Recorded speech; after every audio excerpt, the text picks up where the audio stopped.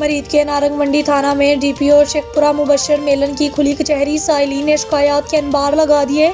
DPO Sheikhpura Mubashar maker ने साइलिन की शिकायत सुनकर मौका पर ही मुतल S H O Azam Basra को आवाम के मसाइल फौरी हल करने के हुक्मनामे जारी कर दिए Majeed D P O Sheikhupura ने अपने बयान में कहा खुली कचहरी का इनका करना अवामी रवाबत कायम करने का मकसद है इस मौका पर खुली कचहरी के बेहतरीन इंतज़ाम करने पर मरीज़ के नारंग मंडी थाना के एसएचओ आज़म बसरा